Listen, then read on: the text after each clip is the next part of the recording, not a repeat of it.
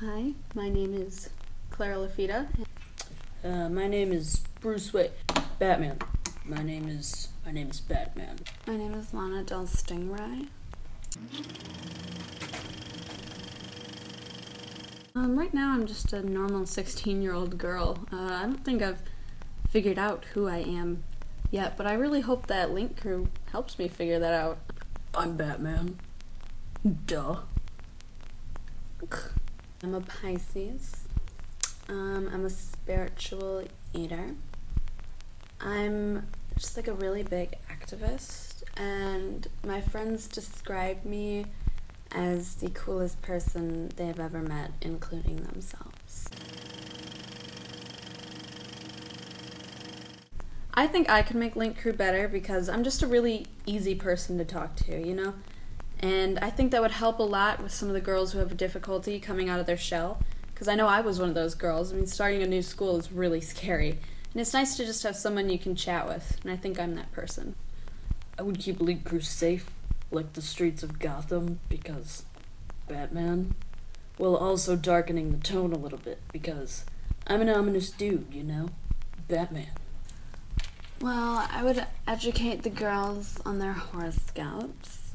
Um, I would also educate them on the hunger crisis that's striking Narnia right now. It's kind of a big deal.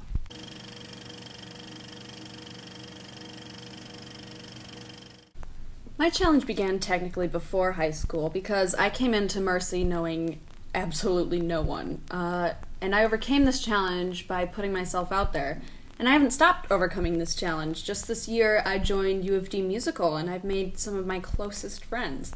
So I think that I've learned that the best way to make friends is by putting yourself out there and joining things that might be a little bit out of your comfort zone, but in the end, it definitely pays off.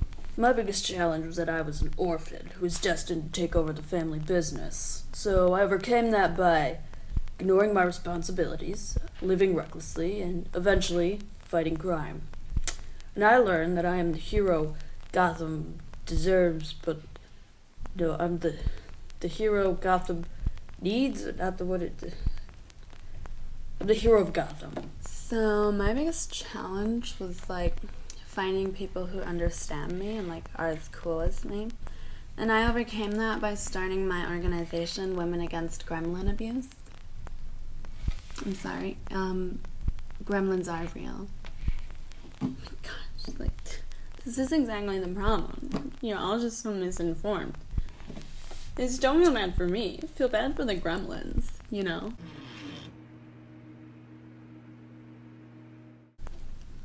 Okay, so to be honest, to me, the perfect day would be spent in Disney World with my two best friends, Brooke and Claire. Um, we would have an unlimited amount of money, and there would be absolutely no lines. Also, the cast of Friends would be there, but not like as the actors. They'd be there as the characters from Friends, if you get what I mean. Um, oh, and we'd all have. Perfect day for Batman. Uh, well, I bust all my villains, make sure they don't escape from prison. That would be nice, you know, because they do that a lot. Then, uh, I think I would fly to the top of a very tall building, and I'd sit on it, and I'd look at the city of Gotham. Not in anything particular, just kind of look down at the city for for the rest of the day, really. Especially if it's nighttime. My perfect day. Okay, well, I think I would wake up. I would drink a patchouli smoothie with extra kale. I'd do a little yoga. Uh, I'd go to a rally against turtle fighting. I was, what's turtle fighting? It's like, okay. Turtle fighting is like dog fights, but with turtles.